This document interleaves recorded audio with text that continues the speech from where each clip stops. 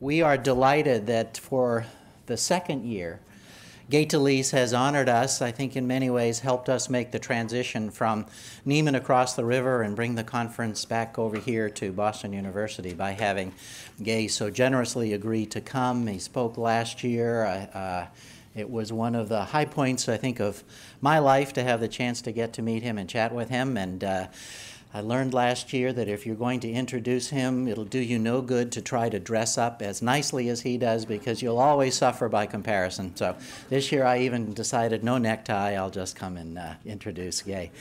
We're really delighted to, uh, to have him, and uh, I would just uh, like you to honor Gay Talese with a warm welcome.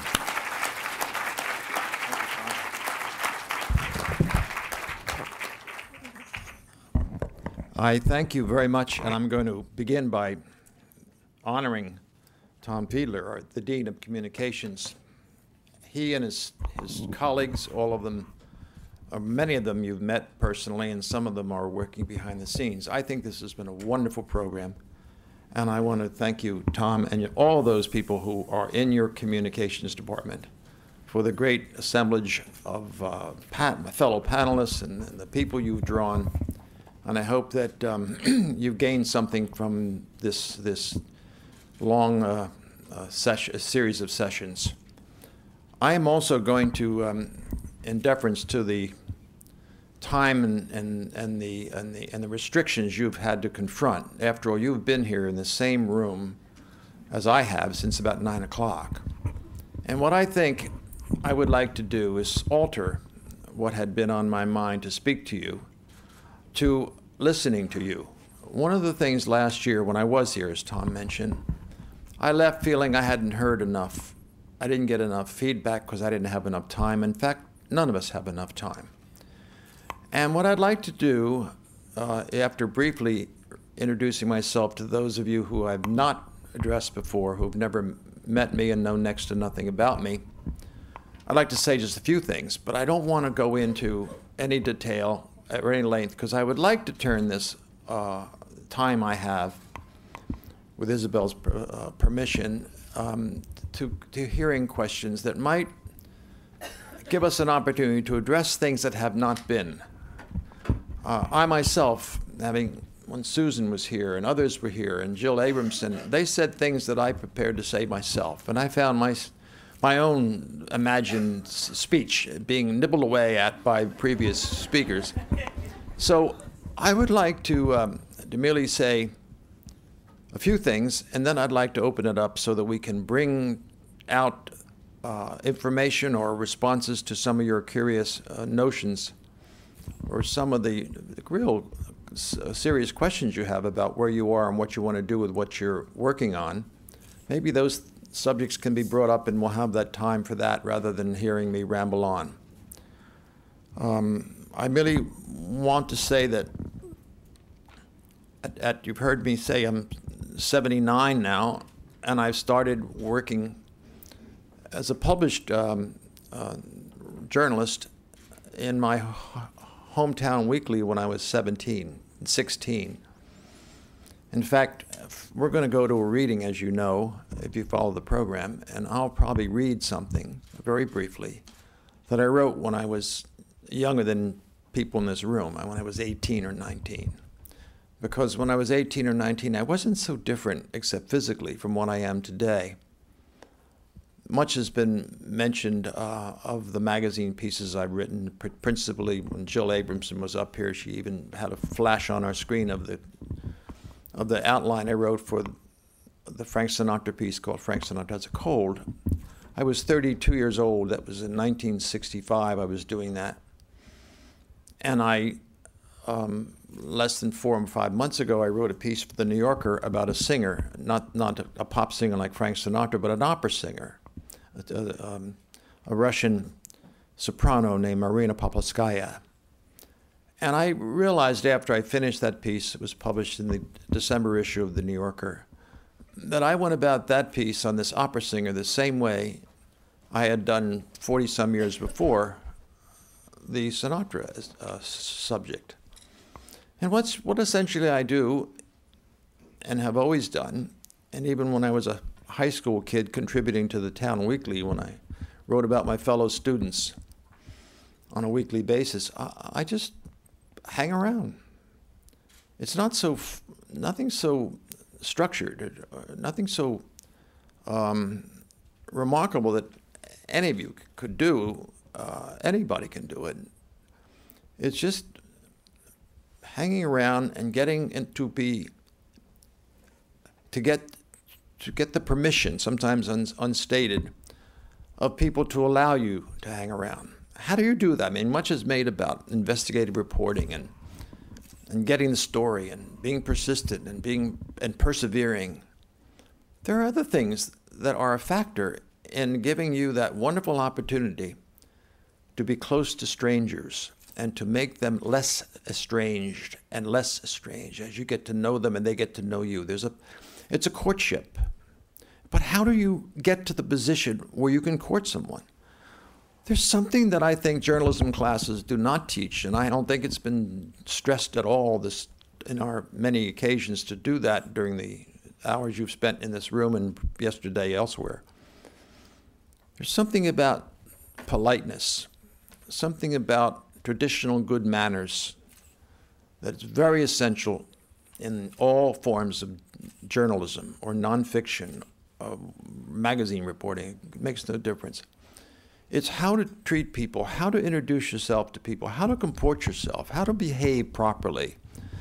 Um, I know that there's no general explanation or or nor um, am I in a position to tell you anything except what works for me and what has worked for me for the better part of six, almost six decades of doing it. And just very briefly, my advantage as a young man was to have been the son of a mother and father who ran a store. I'm the son of shopkeepers. I grew up really in a store, not in a house, not in an apartment so much as in a store, because my parents are always in the store. My mother was the more successful in the commercial sense of the two people. My father was a very fine but not successful commercial tailor. Made beautiful suits that took him too long to make and make any money because not many people would pay for the time it took him to make the suits. It's something of what we're talking about as writers. There's many writers spend too much time. So he didn't make a lot of money, but he had a lot of pride in his craft, and I picked up some of that in the way I work as a writer, a researching writer, and the final work of, of polishing my prose. But my mother was the one that allowed us to pay the pay the rent and and and, and dine regularly. And she sold dresses. And she was a very fine woman in that she presented herself very attractively in the dresses she chose to wear. She was blessed with attractive features to begin with, slender and very, very prideful without being pompous and she dressed well, and she set an example of what a woman, a well-dressed woman, could could find through clothing that would enhance the whole appearance of such a woman. Her customers were were rather middle-aged and and, and oftentimes a little overweight. She, my mother specialized in that kind of customer. That kind of customer was the type of woman who ran the social life of the town. They were the affluent women of the men who ran the town the wives of the of, of the mayor and the, and the council and, and the and the and the principal of schools and the the leading Buick dealer and all these people in this little town who were making the money and running the town politically as well as socially had these women who in the afternoon would come to my mother's dress shop on the main street. And my mother Catherine would talk to them knew she knew all these women by first name.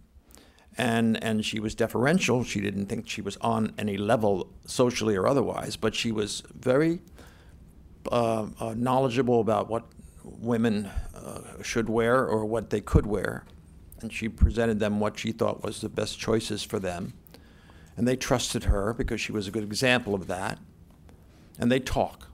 They knew Kay, and Kay knew them, and they'd talk. And they'd look at the dresses and they'd talk. And they'd sit around sometimes that they're outside the fitting room. And as i was 10 and 11 at the time after school i would come home and help in the shop to the degree that i could. And that meant dusting the counters or getting some of the cardboard the cartons that, that after you bought a dress, you folded the dress and you put it in a carton and tissue paper on that. I would fold the cartons and put the tissue paper in place and anticipate the sale. But I listened to the conversations my mother had with these women, and these women were talking about their lives. It was the wartime 40s. That was I was it was during World War II, and it was a small town far removed from the front. And yet the conversations of these women, having to do with rationing, having to do with perhaps the, the, the anticipation or the anxieties they felt about having a son in the army or maybe a daughter working in a war plant, the, the, the the responses to the war, the reverberations of that faraway war in Europe and Asia, uh, was still felt in these towns remote from it, and the re-echoings of the concern of these women were felt in this dress shop, were echoed in this dress shop, and I would listen to these stories. And I listen and listen and think, gee, they're interesting. They're interesting stories. As a journalism student, even then, I didn't think they were newsworthy because the newspaper, the weekly newspaper I contributed to, and the daily paper, the Atlantic City Press, this was in southern New Jersey where I was born and reared. The, the town 10 miles away was Atlantic City and it had a daily newspaper. I'd read the Atlantic City Press, mainly for the sports at first, but I'd read the paper. And I realized it wasn't news. What I was hearing were interesting stories that were not news stories. Certainly not in the news of that time. Now that now Jill Abramson and people, we we know there's a there's an opening now in journalism for the private story, the, the vignette, the personal story that wasn't necessarily true. When I was young in my formative period was more formulaic journalism, the five W's, it had to be news. But these stories that my mother was eliciting as she was a good listener from these women gave me the idea that journalism could maybe, at least I wanted to write about these women or write about the stories or writing about or ordinary people. So this was really my beginning, but what I also learned, as I was about to say before, was that appearances do matter. My father and mother dressed well. In the store, they were very uh, always polite to their customers, and it was not entirely for commercial purposes. You have to be polite to customers. You have to be respectful. But what I gained from watching their their behavior toward their customers, proper behavior, I also was aware of the variety of women who came to the store. They were they were middle-aged women, and I found myself comfortable with older people. So the store manners that I have were first of all based on um, knowing how to treat people with respect, being rather comfortable in the store because there's always people coming and going, coming and going of all ages. Some of them were prospective uh, customers for my father, the tailor. Some of the men would come in to have suits altered, not to be made, but other suits that he'd made to be altered. So I became aware of customers and I became aware of the public through the store at first. And so later on, when I left my town and I was 17 years of age and I went off to college, and then at college, I was also working for the college newspaper. And then when I left college in 1953 uh, and went to, to New York and got a job as a copy boy. And from there, a reporter, and years and years later, a reporter who also wrote magazine pieces, then being 30, then being 40, then being 50, then being 79 as I am today. I realized there's not a much there's not much difference in what I ever did. I know how to treat people with respect because that's the store manners that I was I grew up with. I think that dressing properly in front of people shows respect for the people. In my case, uh, I'm not preaching fashion here to sell a suit to any of you, but I really want to say that even as a reporter, I thought that you have to dress up for the story. As a young reporter working with the New York Times, which is the only place I worked, I thought I have enormous respect for what I'm doing. I have a lot of respect for the people I'm working with. Many of them were much older than I was. I was 21 when I started at the Times as a copy boy. But I'd see the, in this big city room, a room is about as even larger than this room, even more people than are in this room right now. There are rows and rows and rows of reporters. There were 400 people on the, on the city staff of the New York Times in those days, to say nothing of the editors and you know, the copy readers and all these people around the room. And one time I remember when I was at the paper for about two years, I was just coming into the, to the one o'clock shift. I started at one o'clock in the afternoon, and I remember I came into the third floor, swinging doors, looked out of all these people on typewriters, those days smoking, on the telephone talking. Editors were doing their work on the next day's edition in terms of plotting out the page, etc. And I thought to myself, in this room, these 500 people I could see, and just by casting my eye from here to there, there are probably, I thought to myself, probably fewer liars per square yard in this room than anywhere of comparable size in the whole city of New York, and indeed the nation. And I was thinking about the liars on Wall Street and the liars in, in, the, in, the, in the law enforcement and the, even the clergy. I mean, all of the people who, who, whom you don't really fully trust. If you're a good journalist, you know you have to be somewhat um, not never cynical, but certainly skeptical of what you hear and the information you get. You have to check it out. Which isn't to say that journalists are honest, all of them, because we know references are made just today to uh, Jason Blair and others.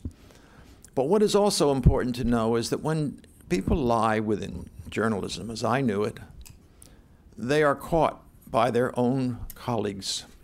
There's no cover up in the journalism that I knew sooner or later you're going to be exposed, as Jason Blair was, not by the police department or the Supreme Court of the United States, just by your fellow journalists. Indeed, in the case of Jason Blair, the two top editors who were responsible for maintaining the integrity of the paper lost their jobs. So many people who are thieves on Wall Street don't, haven't lost their jobs today. But there's that kind of integrity, so that I am proud to be in a business that tries to be honest doesn't always succeed, but the people try to tell the truth. They try to get the truth to the people. And as we know, we don't make most of this much money, and that's been said again. You heard that often. But what a way of spending your life as I have, and at 79, what pride I have in the kind of people who are my colleagues from the very beginning. And I think that's a wonderful way to end your life, to think that you did associate with people for, for whom you have nothing but pride. Um, my, my work, as I said, I take pride in now as I did when I was very, very young. I think, as was said again, that there is, this is not the end of the print media. This is not the end of journalism. This is not the end of magazine writing. It's certainly not the end of narrative nonfiction. I think that this is a great beginning and this place, this wonderful Boston University, these wonderful people from Tom on down, are, are in the, they're the apostles of this. This is a, this is a great thing that, that they're doing, and this is a great thing for you to be, to be listening to, to be privy to, to, to engage with uh, us who are here for a brief period of time trying to maintain your interest, as I hope I have. But before I go on and beyond, beyond, I said I want to ask you what is it that you would like to ask me? And if I can't answer, I'll tell you. But I would like to hear from those of you who are have a question and haven't had a time, haven't had the time to ask it. And moreover, I'm aware, despite the fact of being in this room for so long, when you leave here and go to the next part of our program, you're going to have no opportunity to ask questions. You're going to just be listening to reading. So this is really your last chance to, to, be heard. And so I would like to ask, if you don't mind, some questions. I, just, I want to, this man first. Just, what's your name? Thomas. Thomas. Uh, you're you're known as a meticulous reporter and as an elegant writer. So I was just wondering, how did you acquire those skills?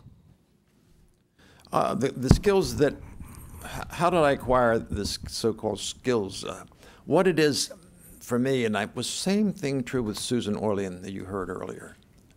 Um, she said, and she could have been speaking for me as well, that fiction was what she read very avidly. And uh, I did start reading short stories I, I wasn't from a home where there were books. My father, the tailor, was not a, a, a man of literature, to be sure. My mother, while, while very, very skilled in her uh, way of speaking to customers also was not a literary woman.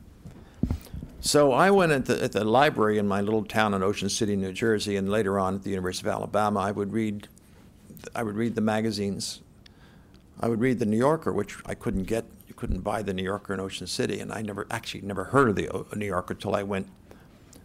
I hardly heard of the New Yorker until I went to New York. To tell you the truth, when I was a copy boy, so I was 21. But I would read Saturday Evening Post. I read Collier's Magazine. These were maga- um, big magazines when I was a kid. And sometimes they'd have short stories that I liked. Sometimes it'd be a famous person. Um, um, you know, even even um, um, some New Yorker writers were writing for other magazines when they would probably be writing for what the New Yorker didn't publish would wind up in the Saturday Evening Post or Collier's or or some other magazine. I remember one of my favorite, and, or Esquire perhaps. One of my favorite writers was a, named Irwin Shaw, and another one was John O'Hara and another was, um, um, well, in short. Sometimes I'd buy collections of short stories, and um, what I liked about the short story is I thought thought if I could learn to to tell stories like a short story writer or novelist, but I didn't have to change. If I knew the characters well enough, I didn't have to change the name. It'd be very interesting. So I thought what I wanted to do, and influenced by the short story writers that I most identified with or aspired to be, at least um, I tried to learn from, uh, I wanted to write short stories with real names. Short stories are 4,000 words, 5,000 words, or less. They could be could be 1,000 words and be beautifully crafted short, short story. But I wanted to have real names in there, and that meant that I wanted to do something in nonfiction that wasn't so commonplace in those days. And I've continued to see that the fine fiction writers, there's so many fine fiction writers, and so many fine fiction writers are, are, are, are, are having a tough time being, being published. It's always been true, but they are using their imagination. And what I wanted to do was use the structure of the story, the fictional story, but to uh, to write intimately about the characters because through through research, through taking that extra step, and then and devoting a, a large amount of time to getting to know people. And if I use dialogue, I wanted to be sure it was right. And I don't use tape recorder, so I have a very developed ear. But not to say, as Truman Capote did when he wrote In Cold Blood, that he had total recall. I don't have total recall. I do sometimes when I'm able to be alone for a few minutes and I have spoken to someone and I remembered a certain certain phrase from what they told me or or a sense of um, exchange we had, the dialogue we had. I will then go write it in my, these little cards that have been referenced, these little shirt boards. I keep notes. These are boards that, I, as you, it's already been described by other people, but this is just part of a shirt board. Like, like this is, pretend that's a shirt board. But that comes in the back of a shirt. And I cut it with a scissor and then I trim it off and, um, and put it in my jacket. And they're hard and, and I write things, as you see. And I will take a little note and then I'll put it back in my pocket and no one will, no one will make a big issue about it. And um, then when I go home at night, I type up what I saw and heard that day. I'm very careful about that. I date it I, when I, I'm doing my, when I'm com- going from shirtboard notations to the type typewriter that I still use, incidentally. Um, I write the date and I write about not only what I, what I was heard, no, not only the research, but what I was thinking while I was doing that, what I was imagining, uh, what I was seeing beyond just the character I was interviewing. I, I, do, I write little scenes. Uh, it's like a journal. Sometimes it's very private what I'm writing. Maybe it's I'm saying in the margin of what I'm recording as a, an account, I'll say something about my, my wondering whether this is really going to be interesting or whether this person's interesting enough. I'll write a lot of things on there and keep a record of that. It probably will not necessarily be part of what I'm writing in the final form, but it, I always have a good record. And I save these notes, so I have 60 years of notes in my great, my little, uh, not my very big uh, storage place where all my material is. Another question? Okay, don't be, no, wait, I want a question from you, young lady. First of all, what's your name? Danielle? Okay, you promised me a question, not a speech. Okay. I noticed you didn't get, Susan didn't, you had your hand up for Susan Orlean and she didn't ask you the question. That's why I'm doing it. Um, you talked about uh, respect. Respect, yes, I talked about respect. Yeah. Uh, when you interview people and you get, uh, you're talking about private life and Yes. so on, and uh, you get uh, a detail Yeah. that might be, I don't know if you say the word. Get a detail that might be embarrassing? Piquant, piquant, uh, picanting. Uh, like, uh, yeah, well, it might be embarrassing for that person. Yeah. Uh, if you publish that. Okay, if you publish it. So let me stop there. It's a question. How do you publish what is embarrassing? How if do you, make the if choice? you do that or not, if it's not necessarily for the story, Yeah. would you do it or not? Well, ta- uh, the, uh, the question was, when you find you get information, perhaps inadvertently or perhaps um, through your through your charm, and they say something that might later on embarrass them if you're sensitive to them. I have found if I hear something, if somebody is feeling comfortable with me, because I said before, initially you have to cultivate people. You have to get your foot in the door. That's why being well mannered and actually being well attired doesn't hurt either.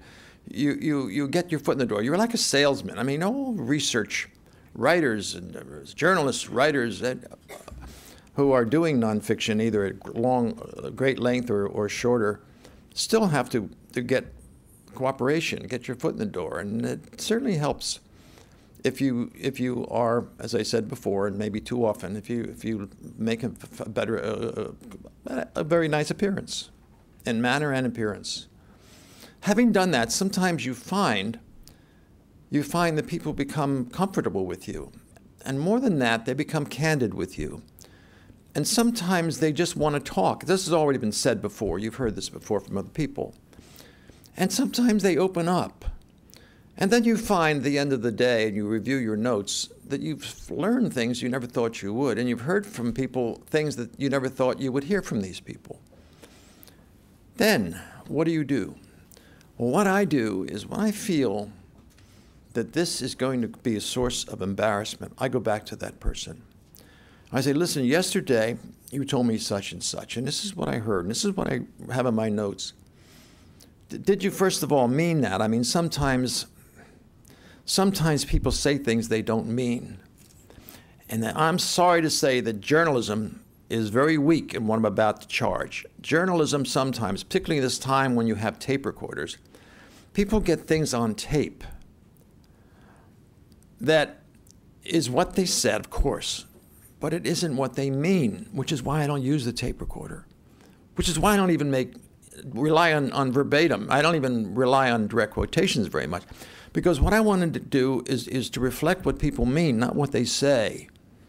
And so I'll go back to them and I say, this is either, uh, if I use this, what would, what would you think about that? I wouldn't want you to use that. Well, you said it yesterday. But I, well, I didn't, I didn't know I said it that way. So I'll change it. I'll give you an example. Um, about less than a year ago, a journalist from the Rolling Stone had access to a couple of generals. And McWhirter, is that the general's name? What is McChrystal? McChrystal, General McChrystal. Um, and and because of it being on tape, this got in, and and for a while, General McChrystal's career, see, now it's been revived, as you probably know, but I thought that is the worst example of the tape recorder, where people, I mean, again, they were feeling free with this reporter. I'm imagining this, but I do think I read about it well enough to know that the, the, the, the, the officers with General McChrystal and his other senior officers were traveling together, and I believe at that time, if my memory is right, there was, there was an earthquake in I- uh, Iceland, or there was some event where they were volcano in was it Iceland? And they were held over for a day, if I have this. And so they had time, and they were, and these guys were just sounding off. And this this very uh, accurate and at the same time thoughtless, thoughtless, insensitive, I'll put it that way, reporter, got it down. And, and could have ruined and probably did ruin the careers of some of those other officers. What did he gain? What did that reporter from Rolling Stone get that's so wonderful? Nothing. I mean, we can't even remember what, what was said. Oh, someone said about Joe Biden, someone, well, who cares? That kind of journalism isn't worth it. I wouldn't be part of it. I don't hear I sound like I'm such a lofty figure castigating this guy from Rolling Stone. Maybe I am, but what do I care? I don't think it was worth it. All right, another question. So your question was answered. Okay, sir. Wasn't there something, a peculiar sort of energy that was happening in the 60s and 70s with with you guys, with your work, with Tom Wolfe, with Norman Yeah. Mailer, and I just, you know, uh, without at the risk of um, almost denigrating the new journalism, uh, I want you to sort of sing its praises because you were up to some interesting stuff. That's not really a question, but No, I know what you're saying. He's talking about the new journalism. That's, of course, is the period when I and Tom Wolfe and and, and some fiction writers, of course, uh, Norman Mailer, uh, a principal among them, and, and Joan Didion, who writes fiction and nonfiction. And you, you know, you've probably had teachers in school that had anthologies where a lot of these writers from the 60s when I first started are being reprinted. What do I think about it? I didn't think much about it. I felt um, my my uh, my career when I did those pieces was at a time when I I couldn't stay at the New York Times any longer because the New York Times I work for is not the New York Times that Isabel Wilkerson works worked for or or Jill Abramson edits. It's a, very a very stodgy paper in those days. And what I I was loved the paper, and I I mean I really loved the paper then as much for the reasons I told you that they were they didn't lie. I mean that I loved the idea that they were trying to be honest. That's what caught my that's what made me love the paper. They tried to be honest. And um, but I wanted to write longer than the paper would allow, and I wanted to take more time. And that was it's possible now, but it wasn't. I was not born at the right time for the, for this attitude. Esquire was then a great magazine.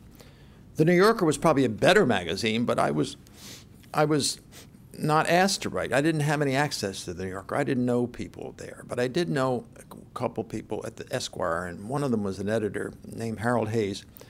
And he, I, I submitted a piece on speculation in 1960 that it published and made it, it was about my impressions of New York.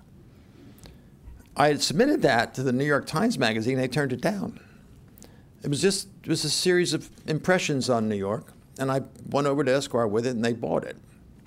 So I had a connection with an editor that I was now in, in favor of. They bought something. I was did well. So I did another piece and another piece, and then I, when I left the New York Times in 1965, I was 32. I had a daughter of of one year. I wasn't making. I didn't have any money, but I didn't want to continue into. I've been there as a reporter in the New York Times for almost 10 years, and I wanted to take more time. And so, working for a monthly magazine was more what I wanted to do than work for a daily newspaper. So I had this one-year contract uh, at, at Esquire, where I was supposed to do six pieces a year for the same amount of money I'd been working uh, making on the New York Times. This wasn't much, like fifteen thousand a year.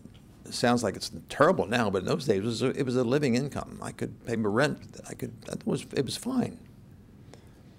And so I did these pieces like Frank Sinatra. I didn't want to do Frank Sinatra. I wanted to write. When I went to Esquire, I said, "I'll do six pieces, but I want to get pick three of them, three ideas." And the first piece I wrote for Esquire, when I went over, left the New York Times, was to write about the New York Times guy that wrote obituaries. That's the first published piece in my 1965 and uh, 1966 contract was about an obituary writer, one of those guys that I used to know in the city room. And I just thought those characters are wonderful characters. No one, the, the word media wasn't in the, in the in the lexicon then. Nobody knew. No writing about journalism was not even. No one was doing that. They were writing biographies of great people, like I mentioned earlier, Pul- Pulitzer or Hearst were subjects of biographers by W.A. Swanberg, but no one write about the ordinary reporter or the ordinary copy reader, certainly the o- obituary writer. So I wrote this piece called Mr. Bad News, and it was it was a, a short story. It was accurate. I spent a lot of time. I spent a whole six weeks doing that. Mr. Bad News. And then I wanted to write about the managing editor. Because, as I didn't quite clearly say to you, when I worked at the New York Times, I thought that the people that I was getting to know as fellow journalists were more interesting. I got I asked them about their personal lives. I, I wanted to know all about them, where they came from, uh, what what their parents were like, and I was really pumping them for information, even though I never knew I'd write about them. And I, I thought they were more interesting as people than the people we were sent out to write about. I mean, you know, have to leave the New York Times and interview people. I thought the people in the New York Times were more interesting. I don't want to stay at home. In fact, I always did stay in New York for that reason. I found them more interesting. I never wanted to be a foreign correspondent. I never wanted to be a national correspondent. I wanted to stay in the home office because I liked hanging around with these people in the building. And so when I left uh, uh, to go to Esquire, I wanted to write about those people. Well, the editor said, "No, you, you already Mr. Bad News is the first. He said, "You can't write about the managing editor. Do this first. Do what? Do Sinatra." I said, "Nobody wants to read about Sinatra. He's so overdone. He's a big celebrity. You know, who cares? Everybody knows about Sinatra." But he forced me to do it, and I went out there. The editor forced me to do it. And when I didn't get the story, uh, I, I, I didn't care that much, but I, he said, stay out there. I did stay out there, and I talked to these, all these other people. And the reason I was able to talk to all these other ordinary people who were vaguely connected to the world of Sinatra, there might be a trumpet player in some orchestra that Harry James band, maybe that Sinatra sang in front of 20 years before he became a star or people that worked in lower levels of movie life that were in, in a movie that Sinatra starred in, and the, all these ordinary people that are part of the entertainment industry, the, the music industry, the film industry. I had learned to get along with ordinary people because I was a boy in the store. I could get along with the customers. I thought the customers were interesting. I thought the reporters in my uh, New York Times home office were interesting. I was very comfortable talking to ordinary people because I, I was trained that way. So when I go talk to the little lady that works for Frank Sinatra and she collects his taupe- toupees, I could get her story easily. And I got that story, and I got stories of all these supernumerary, char- all these minor characters. I was a master at the minor character subject because I got that from the store.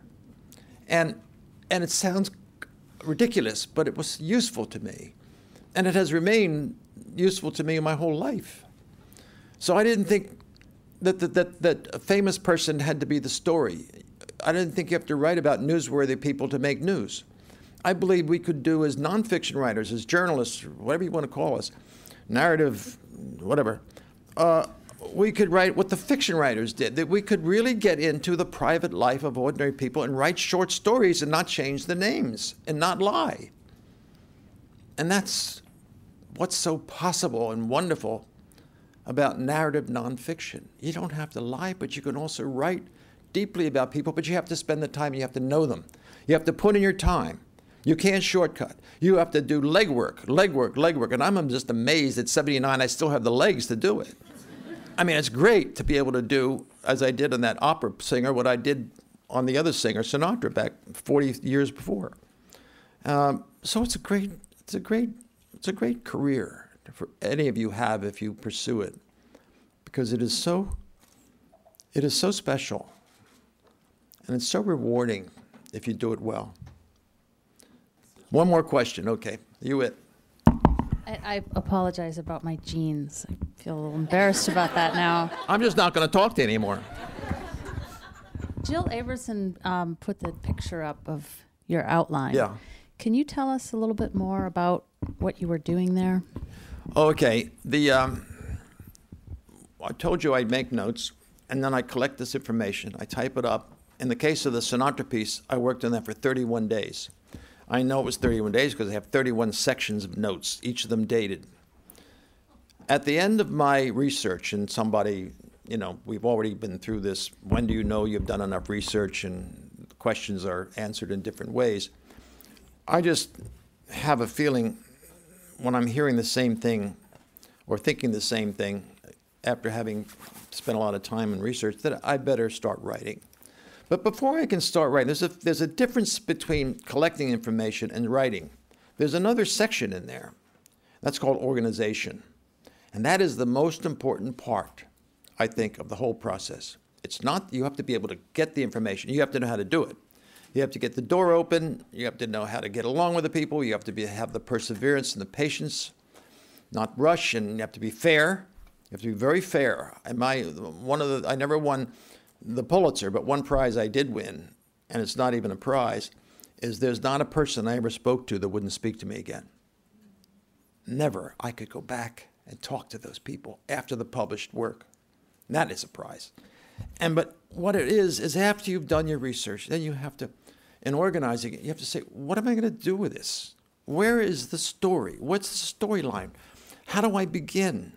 Well, when you go through the information, I make an outline to sort of env- en- envision in a, in a visual way what is the, what am I describing? We're, we're storytellers. And it's as if you're a filmmaker. Here's a filmmaker with us today, and we know you have to begin in a visual way, and you have just like you go to a film. It starts somewhere, or you read a wonderful novel or short story. Uh, it's you, you have a picture, and you have to know in nonfiction. You have to think where where is the scene? How does it begin? So in the Sinatra piece, I thought, ah, the way I'm going to begin is describe that scene at night where Sinatra was at a bar and he was not feeling good. He had a cold, but he was smoking a cigarette, I noticed. And he was with two blondes, and it was this place in Beverly Hills. I didn't have an appointment to see him there. I happened to see him from afar. I was just one of the persons in that, in that supper club called the Daisy in, in Beverly Hills. And I thought, I describe, I'll describe him what he looks like. And I did have a good sense of what he looks like. I pay as a tailor's son, I paid attention to the suit, but noticed the shoes, and I noticed the soles were were almost as if they'd, they'd, they'd been polished as well. And I remember um, uh, the shape of his, of his, of his hands. And I remember the gold lighter, and, and I just watched him, and I kept little notes from afar.